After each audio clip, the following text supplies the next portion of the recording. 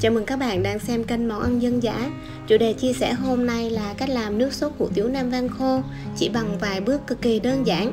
Món hủ tiếu thơm ngon với phần nước sốt đậm đà. Xin mời tất cả các bạn cùng vào bếp tham khảo cách làm của kênh Món ăn dân dã này. Nguyên liệu chính gồm có 200g đường. Nếu các bạn có đường thốt nốt thì sẽ ngon hơn nha, Tương đương với 9 đến 10 muỗng canh. 100ml hắc xì dầu nếu không có hắc xì dầu thì mình có thể dùng 100ml nước xì dầu hay còn gọi là nước tương để thay thế, tương đương với 5 đến 6 muỗng canh.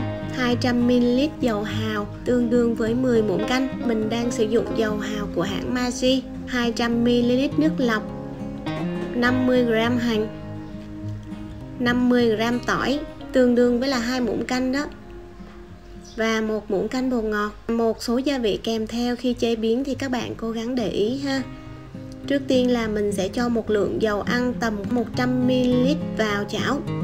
Mình sẽ phi hành lên trước vì à, tỏi nó sẽ nhanh vàng nên mình sẽ cho tỏi vào sau. Rồi lúc này thì mình sẽ cho tỏi băm vào. Tiếp tục các bạn phi với lửa nhỏ đều thôi. Đến khi hành tỏi vàng thơm lên thì mình sẽ cho nước lọc vào và cho hết những phần gia vị mình đã giới thiệu vào luôn cách làm ờ, sốt hủ tiếu khô cũng có 5 đến 7 loại phù hợp với ờ, rất là nhiều khẩu vị và đặc trưng riêng của từng địa phương, từng vùng miền. Đó, tuy nhiên thì ờ, các bạn nên cân đo đong đếm cái định lượng đúng với tỷ lệ thì cái nước sốt hủ tiếu của các bạn không có bị vượt quá cái vị quy định ha. Sau đó thì mình có thể nêm nếm thêm để điều chỉnh lại vị của nó rất là dễ. Và một điều quan trọng nữa là trong quá trình đun, tính từ khi nước sôi trở lại thì các bạn vặn lửa liu riu và nấu trong vòng 10 phút là được. Nếu mà đun với lửa to thì trong 10 phút sẽ khiến cho nước sốt của bạn cạn rất là nhanh và sẽ bị mặn.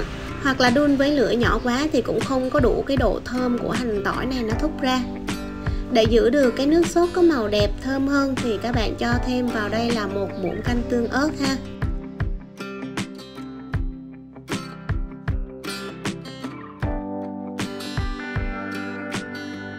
Đây là sau khi mình nấu được 10 phút rồi, thì mình sẽ thử lại cái vị có bị sắc không. Rất là vừa rồi nha các bạn. Mình sẽ tắt bếp và sẽ lược cái phần tỏi hành này ra. Các bạn không nên để cái phần hành tỏi này trong này lâu, thì khi cái nước sốt của nó sẽ bị hư và bị chua nha. Nếu các bạn ăn trong 1 đến 2 ngày thì mình cứ để, còn mà bán thì các bạn nên lược bỏ nó ra.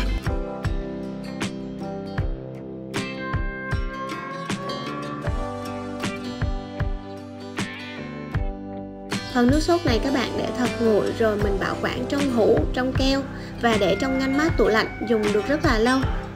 Mà cái định lượng bán cho một tô á, thì các bạn dùng từ 1 đến 2 muỗng canh ăn phở nha.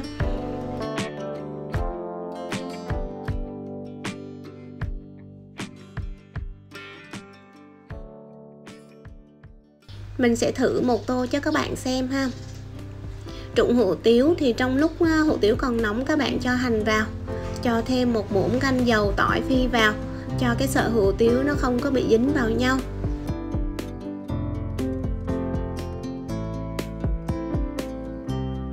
Sau đó thì mình sẽ cho hai muỗng canh ờ, nước sốt vào muỗng canh ăn phở nha các bạn đông bằng muỗng canh ăn phở. À,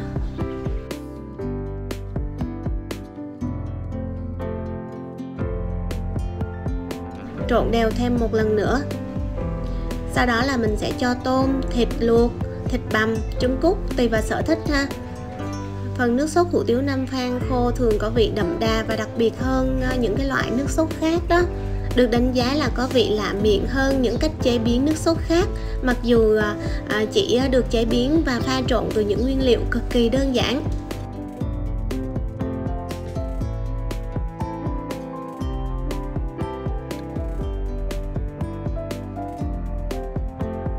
Cái màu nước sốt rất là đẹp. À, mình cho thêm một muỗng canh tỏi phi vào cho thơm. Bây giờ thì mời các bạn dùng nha. À, đáng lý ra hủ tiếu khô thì phải có chén nước leo đi kèm nữa nha.